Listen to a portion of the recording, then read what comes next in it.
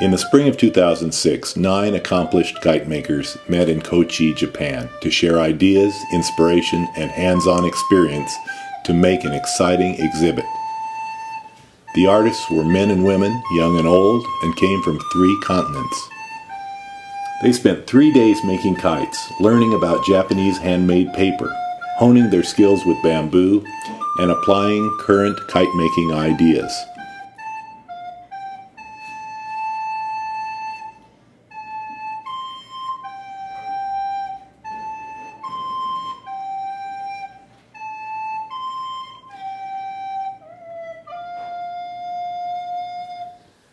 After gathering in Osaka, the group traveled to southern Japan, one of the country's most active paper-making areas.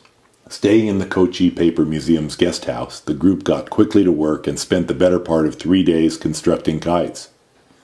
A look outside at native cherry trees in bloom, bamboo forests, and hawks overhead kept the artists inspired.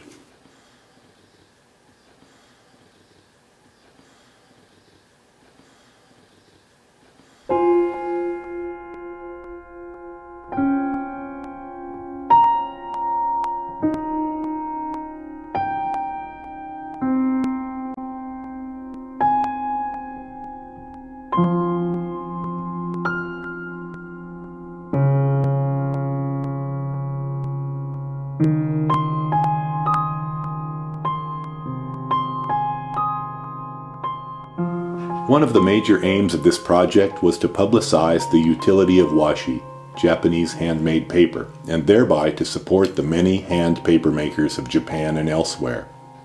The group had the opportunity to visit Japanese national treasure Sachio Hamada, papermaker, in his studio.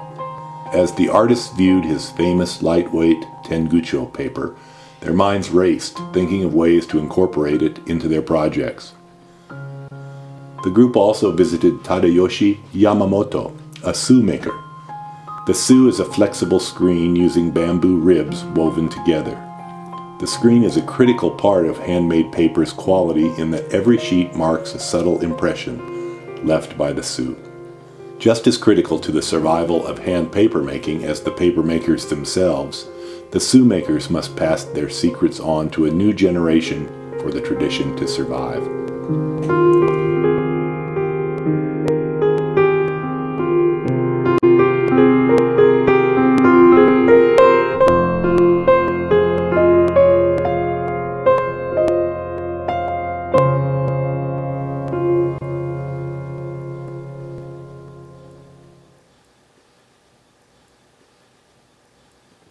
Working away from their home studios, all the participants followed a Spartan approach, sharing materials and tools.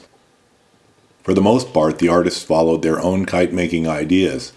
However, the cultural immersion surely pushed them all to their finest efforts.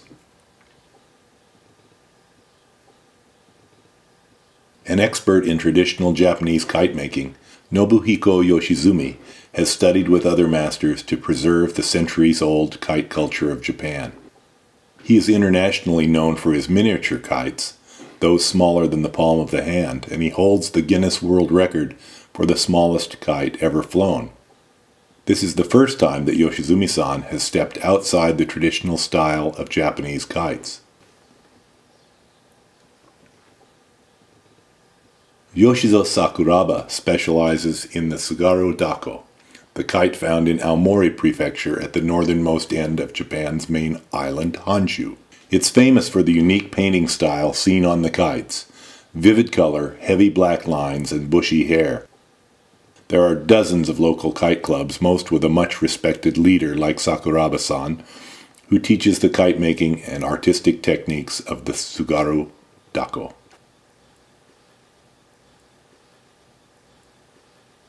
Drawing on his years of diverse experience in art, theater, and set design, Robert Trepanier combines his unique images with the magic of the kite. Many of his subjects are pulled from his childhood and early adult life. An athlete who has represented Canada in sporting competitions, Trepanier exhibits tremendous energy as an artist, approaching large canvases with ease.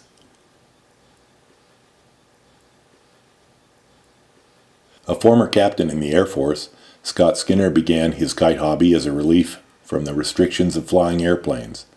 As a kite maker, Skinner has applied the traditional craft of quilting to kites. Skinner is the visionary of this project to bring paper artists to the kiting community.